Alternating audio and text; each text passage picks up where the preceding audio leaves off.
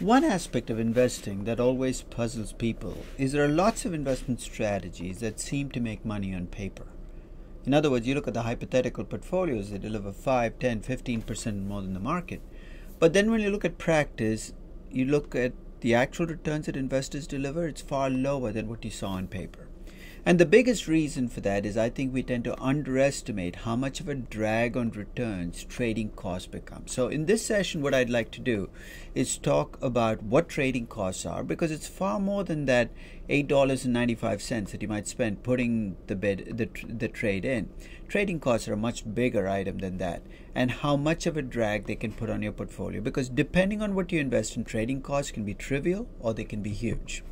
So let's talk about the components of trading costs. There is, of course, the brokerage costs, which 30 or 40 years ago might have been substantial because you had to call your broker and he had to trade for you and he would charge based on what he thought was reasonable. Today, most of us are online. We can trade for uh, almost nothing. So the brokerage costs have decreased to the point where there aren't that many differences between big investors and small investors. But there are three other costs we tend to ignore when we think about trading costs. The first is what's called the bid ask spread. Basically, the price at which you can buy a stock and sell the stock at the same point in time is not the same. So, the bid price and the ask price will often be different, which means if you buy a stock and change your mind instantaneously sell it back, you're going to lose some money. How much will depend on the magnitude of the spread. The second is the price impact. You're saying, well, how much of a price impact? If you're if you're a small investor, you might not have to worry. A thousand shares, a hundred shares, but if you're an investor owning a hundred thousand shares or a million shares, when you try to trade those shares, when you try to buy shares or sell shares, you have a price impact. As you buy the shares, you push the price up. As you sell the shares, you push the price down. And as a consequence, you tend to see lower returns what you might observe on paper by looking at the actual listed price. And there's a final cost, which is if you worry about price impact and you hold back on trading, there's an opportunity cost to waiting. By waiting, not only might your returns get lower, you might actually lose the opportunity to trade. And that factor is has to be weighed in somewhere in this process as well as part of the trading costs. So let's start with some very simple evidence that there's a trading cost drag all you need to do is look at the collective return that active money managers active money managers are managers who go out and try to pick stocks and they have a variety of philosophies. But if you look across all active money managers and you compare the returns they make to the returns you'd have made on index funds on the index itself you get a difference of about one and a half percent. That 1.5% you can argue is basically the collective drag created by trading costs by investors. So basically, when you see that 1, 1.5, 2% less returns that active money managers make, collectively, that has to be the total cost of trading in all its different forms. That's a pretty substantial cost. There's actually some very, very significant evidence on trading costs, and this comes from looking at a couple of very, very simple stories. The first was an attempt by Value Line. Value Line is um, is a long-standing investment survey. It's been around 50 years a fairly good reputation. In fact, anybody who's seen a Value Line ad, and most of us have, if we browse through business magazines, the ad basically highlights the stocks that are classified as timeliness 5, the very best stocks on the value line scale. And the graph shows that if you invested in these stocks, you'd have made this dramatic return over and above what you'd have made investing in the S&P 500. So see the red line here? That's actually the return you'd have made on paper from investing in the value line. that looks pretty impressive, right? Look at how much it rises between 1976 and 1991 but uh, or 1978 and 91. But in the late 70s, ValueLine actually decided to create a real fund whose job was going to be to invest in those stocks that they were sending out as in their surveys as timeliness 5 stocks. In other words, they were going to go from just survey people who gave advice to investors to actually running a mutual fund. Big mistake. Because that value line fund that invested supposedly in the same timeliness 5 stocks, that's their return. So there's the blue line. That's a paper return. I'm sorry, the red line. That's a pay, return on paper. The blue line is the actual return that Value Line delivered. See why the difference? There's transactions costs. So in paper it looks great, but when Value Line tried to invest based on its own timeliness five recommendations, didn't look like the actual returns matched up to that those paper returns. So that's a cautionary note about the magnitude of transactions costs. So let's dig a little deeper. Let's take the items of transactions costs that comprise transactions costs and look at what drives them. Let's start with the bid ask spread. The bid ask spread basically represents the fact that there's a dealer or a market maker who has to kind of smooth this process, allow the trading to continue. And there are three types of costs that that dealer has to face that he somehow has to cover. The first is if you're a true dealer, you don't want to hold any shares. I mean, you don't want to be having any of your capital tied up in inventory, but whether you like it or not, you often will. And that costs you. So you've got to pass that cost on. The second is there is a cost of processing orders. Maybe less now than it was 10 or 20 years ago because technology helps, but there's a processing cost. And there's a third cost. A dealer left to himself is often trading against investors who might be more informed than he is. And if he's not careful, he's going to find himself losing money to these more informed investors. So there's cost of holding inventory, cost of processing orders, cost of trading with more informed investors. So what does the dealer have to do? He has to set the bid ask spread large enough that it covers these costs. In fact, if you dig a little deeper, you and you look across companies, and you look across companies, even with let's start with the U.S. If you look across U.S. stocks, you'll notice that the spread as a percentage of the stock price varies widely across stocks. And there are, here are some of the factors that seem to cause them to vary. One is liquidity. Very, very liquid stocks, the spread can be a tiny fraction of the price. So if you trade IBM, for instance, the spread can be 10 cents and the stock stock price can be $200 basically making the bid ask spread almost almost zero. The bid ask spread however starts to increase as you go to less liquid companies. If you go to the smaller nasdaq stocks that might not see much trading the spread on the stock might be 50 cents. The price might be $2 which gives you a bid ask spread of 25% of the stock price. That's a pretty big difference the spreads also tend to vary depending on who owns the stock for whatever reason, stocks with a lot of institutional activity, if, if, if you see a surge in institutional activity, tend to see a, an increase in bid ask spreads. Perhaps this might be because the dealer looks at those institutions trading with them and he says, they must know something I don't.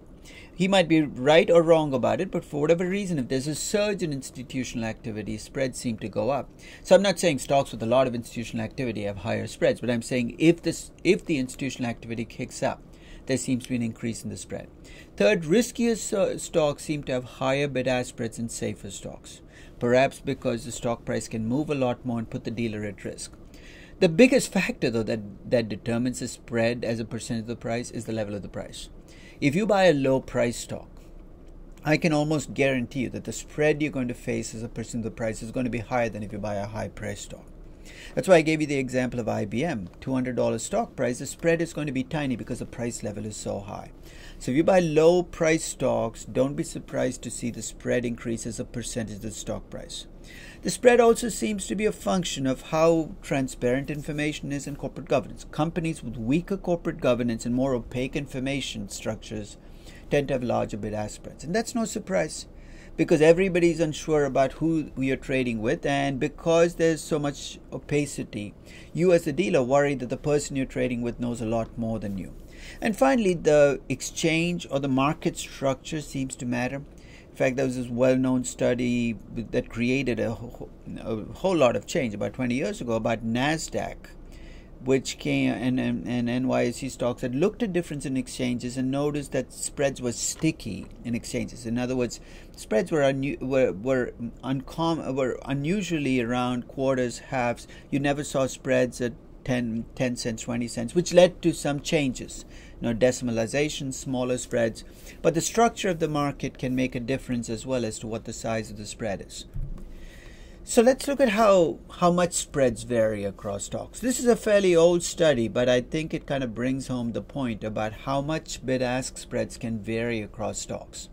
So what you find on the on one axis, basically the yellow line is the the spread as a percentage of the price. Okay, so basically the axis is on this side, so you can see the spread as a percent of the price. And on the other axis, you, I basically have classified companies from smallest to largest. So let's see how we'd read it. The smallest companies, the bid ask spread as a percent of the price, at least based on the study, is about 7% of the stock price. The largest companies, the bid ask spread is down to a half a percent. So small market cap stocks tend to have much bigger bid ask spreads than large market cap stocks. So if you have a strategy that requires you to invest in a lot of small companies, don't be surprised if your actual returns lag your paper returns because think of how much of your money you're leaving on the table because of the bid ask spread. So if you look at the variation in spreads across US stocks, here, the, the, in addition to all of the things we talked about, here are the three variables that seem to drive the spread the most. One, as I said, is the price level. Lower price stocks have higher spreads than higher price stocks. Okay. Second is trading volume. The more liquidity there is in a stock, more trading volume, the lower the spread tends to be. The third is the ownership structure. Okay? As insider holdings climb as a percentage of the total stock outstanding, bid ask spreads tend to increase. This may seem contradictory to what I said earlier about institutional trading, but that was about changes in institutional trading. Holding all else constant, though, if you have a stock where 80% of the stock is held by insiders, don't be surprised to see larger spreads on that stock than if 90% is held by institutions. Now, if you look across markets, you'll start to see how much liquidity varies across mar- markets. So, in this table, for instance, you see co- the country in the first column, you see the average bid ask spread in the second column. Notice how much it varies across countries. So, in fact, uh, in China, the spread is only 0.31%, whereas in the Philippines, it's 6.61%. But that's partly explained by turnover, which tells you how much trading you see in these markets, and partly by the number of days in each of these markets where you see zero trading volume on a stock. So, as an example, if you take Russia, there are 40% of days where there's zero trading volume on the stocks. Stocks don't trade at all, which tells you that the spreads are going to reflect that lack of liquidity. So bid ask spreads vary across stocks, they vary across market cap classes, they vary across markets, and all of this has relevance, but it also can vary across time. You take the largest market cap companies, remember we, we talked about the magnitude of the spread being a small number, and most of the time that's true. The spread might be 20 basis point, points or 30 basis, it's a very small number until you have a crisis. This is in fact a graph of the 2008 crisis and what it did to bid ask spreads among the largest companies. Take a look at that, that spike. That's basically bid ask spreads increasing during the crisis. And they stayed up there for about three to four months before they started to see them and before the crisis dissipate and they started to come back down again. So if you're trying to trade in the middle of a crisis, your transactions costs are going to be higher simply because the spreads have widened. And in fact, this was a problem that hedge funds ran into in the late in late 2008 as they tried to get out of positions. They found that their transactions costs were much greater at the time when they most needed liquidity. So if you think about how much of an effect bid-ask spreads are going to have on your strategy, Part of it is going to depend upon what kinds of companies you invest in. So, if you invest in a lot of small cap stocks or low price stocks, so if your strategy leads you in there, you're going to end up with much higher transactions cost because of the size of the bid ask spread. So, here's one example. About 25 years ago, there was a very interesting study that looked at a strategy of buying what were called loser stocks. In other words, stocks that have gone down the most in the last year are often the best investments if you look at pure returns going forward. So, a study by De Bondt and Thaler that showed that if you bought loser stocks, they vastly outperformed winner stocks over the next five years. But that's based on paper returns. There were people who tried to put these these loser stock strategies into practice by going out and buying the 50 biggest loser stocks in the last year. The only problem is if you think about loser stocks, these are the stocks where the prices have dropped the most. They tend to be low price stocks. And if you take the the the bid ask spread on these uh, on these low price stocks, you find that a big portion of the excess returns that they found in the study get wiped out by the size of the bid ask spread. So don't think of the trading cost as a side cost. It's going to be a central component in whether you make returns on your particular strategy. So that's the first stop. That's bid ask spreads. Take a look at your strategy. Take a look at what kinds of stocks you're you're trading, and that'll give you some sense of how much your the bid ask spread will take out of your returns. Second stop in the process is you might have a price impact. Why do you have a price impact? The first is fairly obvious. It's demand supply. If you if you have an influx of somebody trying to sell 3 million or 5 million shares, there's going to be a price impact because markets are not completely liquid. They can't absorb that sudden surge in either demand or supply. So the first is that markets are not completely liquid. there's a liquidity effect. There's a second impact. If you see somebody trying to sell 5 million shares in a hurry and you're an investor on the floor, or an investor elsewhere. I would be surprised if you started wondering why is he trying to sell these shares so quickly? He must know something that I don't. In other words, we read information into trades, and when you see large trades, people assume there's information behind the trade. So if people are trying to buy a large block, they assume there's good news that they know, and if they're trying to sell a large block, they assume there's bad news they're not letting you know. So there's a liquidity impact and an information impact. You're saying, why are you splitting hairs? The liquidity impact will dissipate, right? It dissipates as liquidity comes back. The information impact might stay. In fact, there's a very interesting study from a long time ago that looked at large block trades in the New York Stock Exchange and basically looked at what happens to the price at the time of the block trade and how quickly does the price adjust back. And what the study found was that instantaneously there is an impact. And if in fact you could buy the stock right at the block trade price, you could make money. But you had to do it right away. Because if you waited about five or ten minutes after the trade, much of the returns got wiped out. In other words, on the New York Stock Exchange, big block trades on liquid companies, the liquidity effect disappears very, very quickly. So you're saying, so what's the big deal if this disappears so quickly? Why are we making such a big deal out of it? Well, I think it varies across again companies. That liquidity return is is is going to be much easier if you're looking at a large market cap stock on the New York Stock Exchange. But if you're trading a small market cap stock, you might find that the liquidity impact lasts a lot longer and the market impact or the price impact is much greater. Here again is a study from a long time ago where um, the author of the study actually tried hypothetical trade. So he basically called brokers and said, I'm going to trade 100,000 shares, 10,000 shares. And he tried it on stocks ranging from large market cap to small market cap stocks, and he recorded what the price impact would have been of the trades. And you can see very quickly again the smallest, least liquid companies, the price impact is huge 15, 20, 25%. And as you go, and depending on the size of the block, the impact gets much larger for bigger blocks rather than smaller blocks. But again, price impact can vary across companies as a function of the size of the company and the liquidity of the company. So, why might this impact your investment strategy? Depending on the type of stocks you buy, you're going to find yourself more exposed or less exposed to price impact. If your investment strategy requires you to disproportionately invest in small market cap companies that are less liquid, you're going to see a much larger price impact. And the interesting thing was, those are exactly the kinds of stocks which also tended to have large bid ask spreads. So, the kinds of stock where you have a big price impact also tend to be the kinds of stocks where the bid ask spread is a big chunk of your trading cost. So basically, the two, both costs kind of kick in, taking away your returns. The second factor in your investment strategy is the more your investment strategy requires that you trade quickly. So if you trade, so, so let's say your investment strategy is based on trading on information, buying right after earnings announcements. You can't afford to wait 15 or 20 minutes, and definitely not today then you're going to find yourself more exposed to price impact because you have to trade quickly. And thirdly, it depends on the size of your portfolio. And here's one of the few scenarios where being a small investor is better than being a big investor. You're a small investor, you can get away without a price impact. You buy a thousand shares, you sell a thousand shares, nobody knows, nobody cares. You're Fidelity Magellan, you have to sell a hundred million or a billion dollars worth of a company stock, you have a much bigger price impact. So if your investment strategy is based on investing billions of dollars and you have to invest in less liquid companies, or emerging market companies. Remember that the, that the markets which had the biggest bid-ask spreads, the emerging markets with emerging markets which had the biggest bid-ask spreads also have the biggest price impact. You're going to find your returns being impacted by that price impact as well.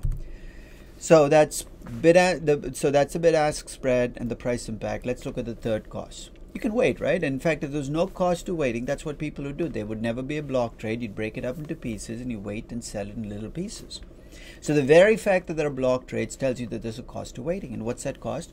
One is if you wait, you might find yourself giving up some returns. So you found an interesting stock that you think is going to go up. By waiting three days or six days, you might give up a third of the returns you would have otherwise made. The second is is sometimes the price might rise so much while you're waiting that you might not trade at all. So the cost of waiting is actually tough to quantify because it's often trades not made. But here are some things we know about the cost of waiting. One is it depends on a variety of variables. One one variable uh, that that it depends on is the type of information on which you're basing your trading. if the type of information you have has a low has a, has a very short shelf life, it's private information, it decays while you're sitting on it, then you have to trade right away because if you wait, somebody else is going to get that information and trade on it. So the first thing it's going to depend on is the information you're using private information with a short shelf life or public information which has been out there for months and nobody's doing anything about it. If it's a latter, you don't worry as much about waiting. Second, you'll have to worry about how active the the market is for information. So you're worried about other people looking for the information you have. So if you're investing in a stock where hundreds of investors are searching for information, you worry about them finding it quickly. You have to trade quickly. Third is is your investment strategy a short-term strategy or a long-term strategy? Short-term strategies has a much bigger cost to waiting because you have to make money quickly. So, for instance, if your strategy is to buy right after earnings announcements and sell three hours later, you can't wait because if you waited, much of your returns can get wiped out. If your strategy is to buy low PE stocks and hold them for five years, not a big deal to wait. And finally, and this is an interesting phenomenon, if your strategy is a contrarian strategy where you're going against the prevailing flow, you're selling when everybody else is buying, or buying when everybody else is selling, you can afford to wait because essentially you might actually be helped by waiting. But if your investing strategy is a momentum strategy, if you wait, the momentum is going to keep going and you're going to give up some of that momentum return that you otherwise would have made. So you tell me something about your strategy and I'll tell you how big the cost of waiting is going to be. As a side issue, I've talked a lot about stocks here, but there are trading costs on real assets as well, right? Those trading costs are, you know, can vary. If you're trading commodities, you know, gold, silver, diamonds, trading costs are fairly small.